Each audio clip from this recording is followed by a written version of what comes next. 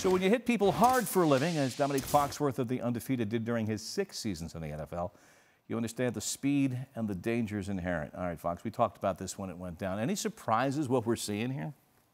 No, I mean, I'm not surprised. The one thing that I kind of uh, is raising my eyebrows a little bit is uh, everyone kind of characterized this as this is the NFL trying to make the game safer. And I agree. I guess this is an attempt to make the game safer, and the players should maybe fall in line because of that. But let's not go too far. Like, this game is not safe, and this does nothing for the, the subconcussive hits that you can't take out of the game that are fundamental to the core of football. So I'm not sure that this actually accomplishes the goal that they want to accomplish. Yeah, it's the headline moments like Jenkins hitting the Super exactly. Bowl. We'll all go back on the DVR and look at that.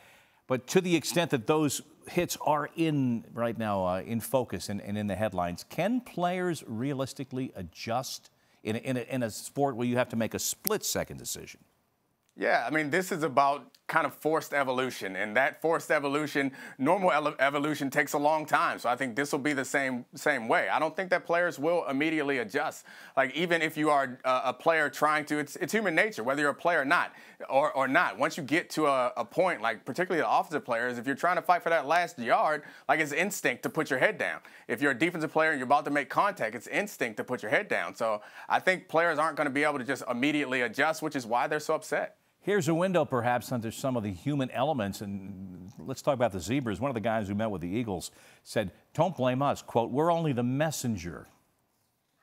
Yeah, the the Eagles had uh, quite an incident with the referees, but I think that this kind of points out that the officials aren't even completely comfortable with this. This is a tough thing.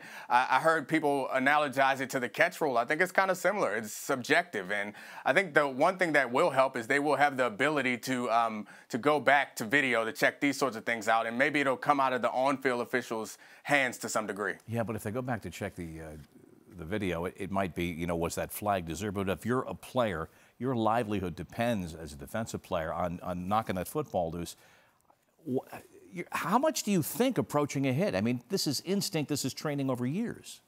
Yeah, I mean, I think you're right. It is instinct, but football is, uh, I think a lot of people uh, assume that athletes, particularly football players, aren't very smart. But I think that you need to process information so quickly in football. They have to, you have to be uh, have some level of intelligence. So I think that the players are capable of processing that information, but I don't think they're capable of necessarily uh, rejecting their programming. Like I said, if someone if someone were to jump at you, like the the instinct is to put your head yeah. down and kind of ball up to some degree. And I think players are going to continue to do that. To Josh Norman's point, we would have liked to have a seat at the table. All right, you used to be the president of the uh, of, of, the players' union. Uh, as far as the competition committee, how close to the table were the players ever invited?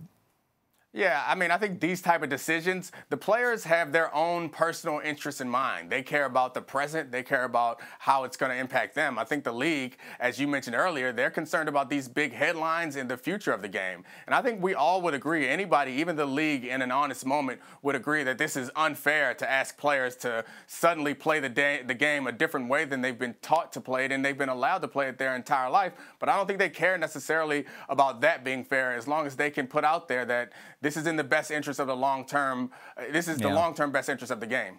Are we still talking about this come Halloween?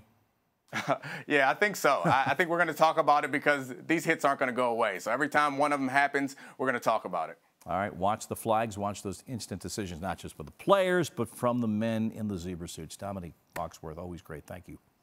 Thank you, Bob.